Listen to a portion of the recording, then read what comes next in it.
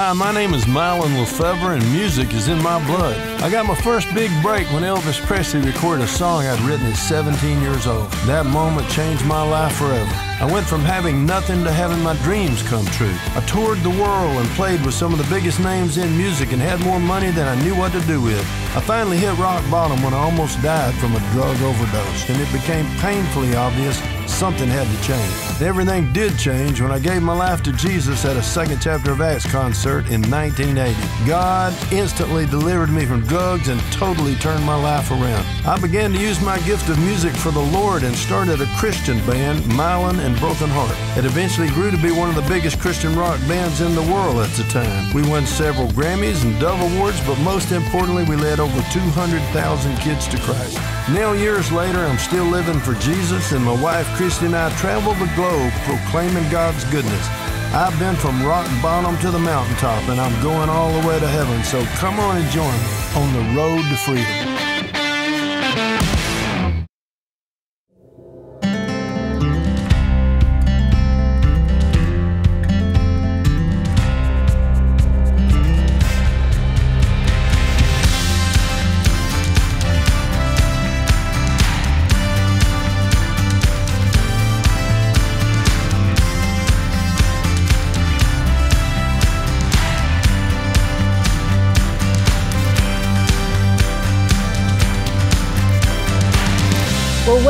To On the Road to Freedom. We're so excited that you joined us in beautiful Banff, Canada. Amen. And we're at the gorgeous Rimrock Resort. We're so excited to be here. The sun is shining, it's beautiful. We're in the Canadian Rockies, and it is absolutely gorgeous. It's our favorite place in the whole world to ski, and we've been Yeah, a lot of is. places. But That's man, right.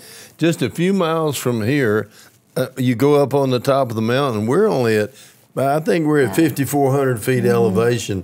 When I sleep better at a little lower elevation. But man, you get up there above the tree line, right in the middle of what they call the international. What is The it? Continental the Divide. Continental Divide. That's That's, right. right. and you get up above the tree line, 11, 12,000 feet. Man, there's some magnificent skiing up there. Big old wide bowls and fresh powder. Yeah. Oh. And the scenery we're showing you is so that you can taste and see that the Lord is good. Mm. Yes. You know, the book of Romans says that creation itself testifies of the power of God. That's so his creation is a powerful testimony Mm. of his goodness. And we're just so thankful that you joined us. Remember, the reason why we do this show is because John 8 31 and 32 says, If you continue, Jesus said, if you will continue in my word, then you truly are my disciples, and you will know the truth, and the truth will make you free. Amen. So the more we continue in the word, the freer we get. And we're all on that road to freedom, and we're getting freer every day in Jesus' name. And anytime we we do this show for you. This Yes, show is not about you. us. This is not our show. This show is done. This Bible study. It's to help you. We're going to do the Bible study at our house anyway. We're at mylon.org, and there are hundreds of things on there. If you need information on marriage or mm-hmm. or healing or whatever, we have free videos explaining everything.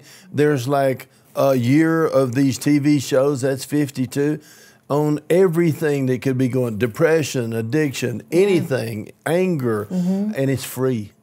Man, all we're trying to do, we're not trying to get anything from you. We're just trying to help you to get to heaven and enjoy the trip. So if there's anything we can do, you got any questions, you got a prayer request, come to us at Contact mylon.org. That's right. Contact us at mylon.org. We have a free daily digital devotional called Church on the Run. Mm-hmm. You know, it's just a lot of free resources available to you Yeah. so that you can continue in the Word every Yeah. day. And, you know, text two friends, let them know that we're on. We'd love for, for you to let them know so that we have an opportunity to encourage them also in the Word of God. And, you know, if you just like and share our post, you can become a social media evangelist Ooh, come on. by just liking and sharing what we post Awesome. That's right. Amen. That's true. so thank you again for joining us, and we believe today you're going to receive the truth of God's word that's going to set you free Amen. and free indeed. And today we're talking about being a faithful friend. And the great reward that there is in being a true friend, what God calls a friend. And you know, it's important that we don't let the world or social media or media in general define for us what a friend is. We need to let God's Word define true friendship. That's right. And one of the things that God mentions is that if we're going to be true friends to each other, we need to be faithful. And in Proverbs 26, it says, Many claim to have unfailing love. Lots of people talk about this. Oh, I'll never walk away. I'm with you forever. Many claim to have unfailing love, but a faithful person, who can find? Wow. Now, this is God's word saying Yeah. that a truly faithful person who is loyal and committed when it's easy or hard, that never walks away, it's rare. The word says it's actually rare to find a truly faithful person. That's right. So I encourage you to make the decision I'm going to come up higher in faithfulness. And I'm not going to give up on people. And I'm not right, and I'm not going to give up or quit. And, you know, this is important for your future blessing because Proverbs 28 20 says, A faithful man or woman shall abound with blessings. So the reward for faithfulness is abundance of blessing. And that's a great reward. We all want that. So I encourage you to make a commitment right now as you're hearing the word of God that you decide to be a faithful person. That's Amen. baby. and you know, if there is an area of our lives where we're not experiencing abundance, this is how the Lord put it to me. Then I need to ask myself, is there an area of the word where I have not been faithful? Hmm. And you know, when he put it to me like that, I really started searching my heart and saying, Lord, reveal to me if Yeah. there's an area that I've been unfaithful. I Me just too. I want to repent and be quick Yes, to I do. repent. It's so simple. Repentance is such a gift. It just means know? you simply take responsibility for your mistakes. That's right. And everybody's made mistakes. There's no there's no shame No. in missing it. No, There's only all. shame in being too proud to admit it. Yeah. Oh, that's so good. So and you know, what's wonderful about repentance is if we confess our sins, He is faithful and just to forgive us and cleanse us from all unrighteousness. When we confess our sins and repent, He never tells us no. that's right. He cleanses us from all unrighteousness. You, and the minute we do that, it Thank puts us you, right back into a position to receive this abundance of blessing.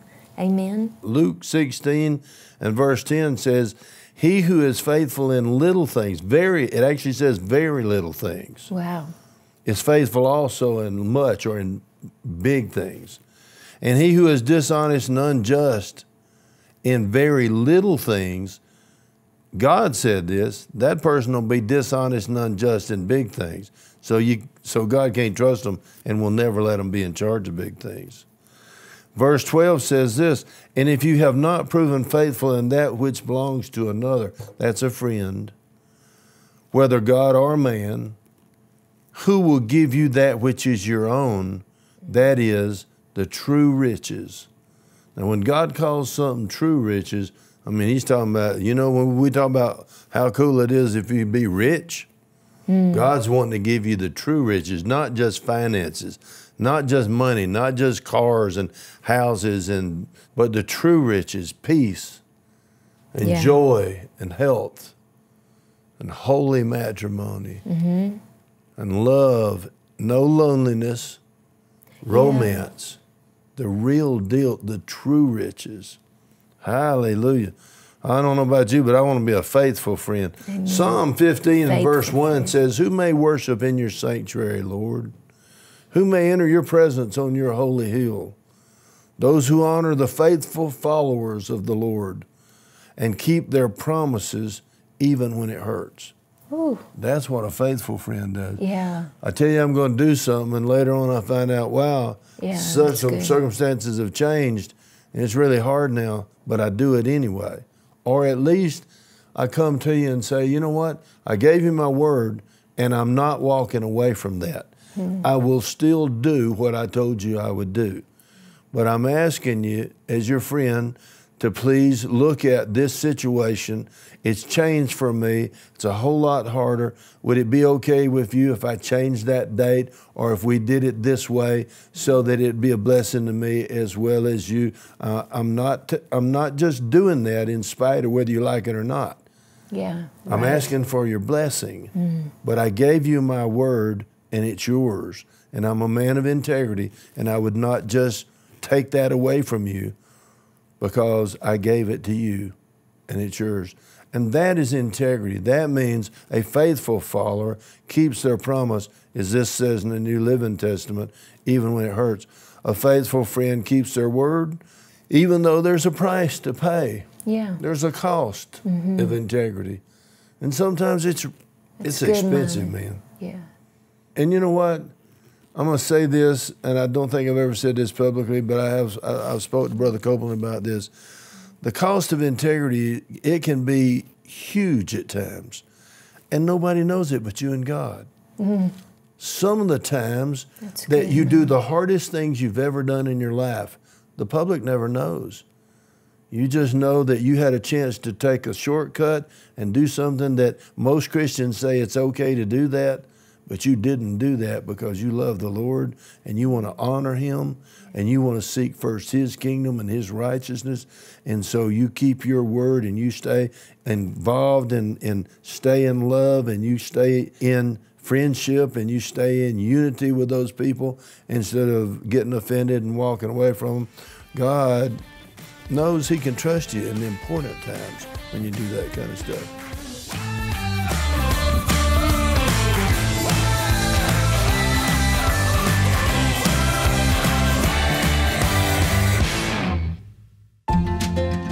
You know, Jesus' great commission was for all of us to go into all the world and teach and preach and make disciples. Yes. And you might be wondering, how can I do that? Well, you can answer that call by joining Team Mylon. Through your agreement in prayer and in giving, we are able to go into all the world and teach and preach and make disciples. And you're a part of that. When you join your faith with ours, then you share in the eternal reward for every life that On the Road to Freedom touches. You can connect with us at Team Mylon. You can connect with all of our social media sites and become a social media evangelist by liking and sharing our posts. So if there's any way that we can be a blessing to you, please contact us at mylon.org. We would love to hear your prayer requests. We'd also love to hear your praise reports. You just email us at testimony at mylon.org. So have a wonderful day and know how much Jesus loves you.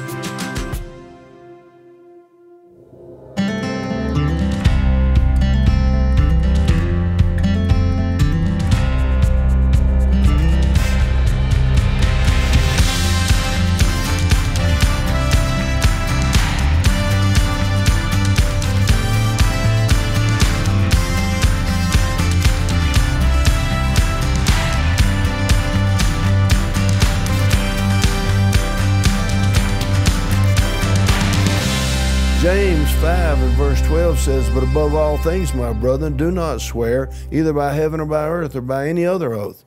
But let your yes be yes and your no be no, so that you may not sin and fall under condemnation. 1 Peter 4 and 10 says, Each of you should use whatever gift you have received to serve others mm. as faithful As stewards faithful of. God's grace in its various forms. I wish I had a camera myself Yeah. and I could go and put it on Matthew standing behind that camera right now. Matthew is a minister of the gospel of Jesus Christ. Matthew Kurth, he's not just running a camera, he's directing and, you know, we- we've got, I, I don't even know, producing, they all take turns. Michael Howell, he, his family has a wonderful group, the Howell family. They, they make records. They are worship leaders. He preaches the gospel. Mm-hmm. But today he's using his unique gifts to help me to make this TV show. Right. And so is Matt. Matt's come all the way. Matt Hawkins has come all the way to England, to From Canada England, to help yeah. us mm-hmm. and brought his unique talents. Right, right. And when we put those talents together, then we can minister the gospel to you. And I can't wait to read you the testimonies Yeah. of what God is doing in people's lives recently. And we can't do it without each other. We can't do it without us doing what First Peter says right here. Yeah. You whatever gift you have received you, from God, you use it to serve others serve. as faithful stewards of God's grace. That's what That's what being a faithful friends friend do for each other in yeah, its that's various it. forms. Amen. Proverbs 3 and verse 3 and 4 says, Let love and faithfulness never leave you. Yeah. Bind them around your neck, write them on the tablet of your heart. Then you will win favor and a good name in the sight of God and man. man. Faithfulness equals favor with God, favor, favor with, with man. man. Yeah. And if you need friends, develop faithfulness. Right, and, and so that's what that scripture is saying. If you if you're in a place where you are feeling lonely and you you need friends, you know God designed you for a relationship. Yes. He never intended for you to be alone. That's right, He actually says in Ecclesiastes, two are better than one. So He never wants you to be a lone ranger. He wants you to have friends. So one of the things that you can do to receive friends is to develop faithfulness. You know, this was one of the scriptures that I used in my lifetime in believing God for godly friends. And I just focused on letting love and faithfulness, being focused on that with others, being kind and being faithful to my word and keeping integrity. And Mm. what I found is that it did win me favor, not just with God, but That's with right. man. That's right. And He brought me whatever we sow, we reap. And so slowly God started adding friends to my life in, in my school, in my college, in my career. But it's through this scripture of sowing love and faithfulness. Let me comment on that, baby. Mm-hmm. Some people say they don't have any friends. But the. Bottom line is they're not willing to be friendly. Right. They're not willing That's to be a faithful friend. That's it. So they haven't been faithful to anybody, and they wonder why nobody's faithful to them. Amen. But sowing and reaping is the Sowing law of. God. Yeah. That's It- it. The Bible says That's God is not mocked. He will never be mocked. Whatever a man sows, that shall he also reap. You walk away from your friends when they do something you don't like, all your friends are going to walk away from you. Right. First time you do something they don't like. Yeah, that's good. So, that's so good, honey. That's it. So Proverbs 18, 24 confirms that. A man who has friends must himself be friendly. So if you're believing God for friends today, just be friendly. Go around being Amen. friendly. Let, me finish that verse for you. But there is a friend that sticks, Sticks closer, closer than, a brother, Oh, and yeah. he's the one we're here to represent. Yeah. We're not telling you our opinions. There is one friend, Jesus, who sticks closer than a brother. Yes. That's faithful friends. That's faithful. That's friends. true friendship. Mm-hmm. And I don't know about you, but I want to be like him. I want to stick closer to you than a brother. Yeah. I want to be faithful. I don't want to quit on you when you need me the most. Yeah, that's right. Amen. So again, if we want to be loved, we need to be lovable. Yeah. You know, the Amplified of this verse says, The man of many friends, a friend of all the world, will prove himself to be a bad friend. Mm. Now, that's talking about a friend according to what the world's definition is.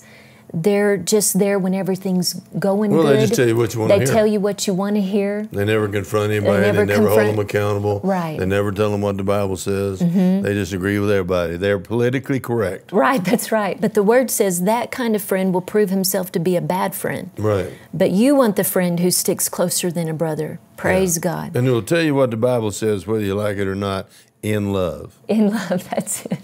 Amen. And iron sharpens iron friend. And you know, on this verse 2, it says in the Passion Translation, there is one loving friend mm. who is joined to your heart closer than any other. Amen. And again, Jesus is our best friend. Well, he's the only one that can do that. first love. Yeah. I let you down, but he never does. Amen. We all need Jesus. Yes, and He will restore right friendships, right relationships to you. He will bring those across your path, divine relationships. Yeah. You know, growing up, there there were times in my life where I didn't have many friends. You know, I was kind of the the weird kid because I was so vocal about my commitment to the Lord and refused to compromise. And so, because of that stance, I did get made fun of. I did get Sure. mocked, and, and I was in all the clubs, and, and I had some, you know, I'm not saying I didn't have any friends, but the Lord made sure that I always had one close friend who would stick with me and stand with me in Him. And usually that friend was from church youth group. And so I, I got used to that. You know, Jesus is my best friend, He meets every need. But what's wonderful is that when I married Mylon and I answered the call to full time ministry, here's what God did. He put me in the family of God, surrounded by all these people of like precious faith Mm. Thank you, who were in full time ministry too, pursuing the same call. And now I have a whole bunch of weird friends. We're just like me, Yeah. radicals. That's right. And so I know that God will restore friends to you. He will bring you those of like precious faith. That's right. Those are the kind of friends you want. That's Amen. right, baby. And that's the kind of friend you are. Now, I'm going to Yeah. say, just because everybody doesn't know you, you said when you were in school, you were in clubs, not the kind of clubs I used to go to. Oh no no no! No, you know no, school club. School um, clubs. let me think. Student council. Um, you know, cheerleading. I did all the things. I was involved in school, but when it came to Social to things, uh, social social, clubs, yeah. yes, I was involved socially. But when it came to close friends who really understood my commitment to the Lord, growing up, really, it's, I remember just having one friend at a time from church.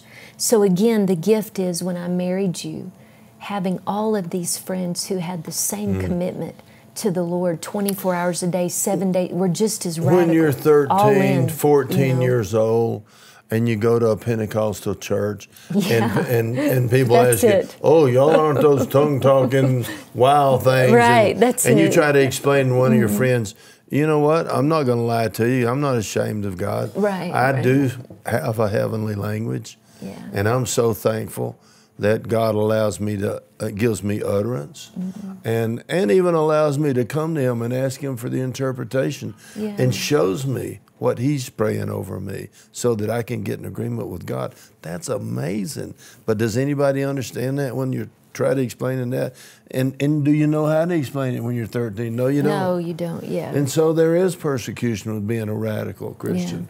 There is persecution, but the Bible tells us that that's where the hundredfold is. If you really want to be blessed with God, you want to go all the way and you really want to be blessed, God said people will persecute you. They will make fun of you. Mm-hmm. They will find fault with you Right. for being a radical Christian.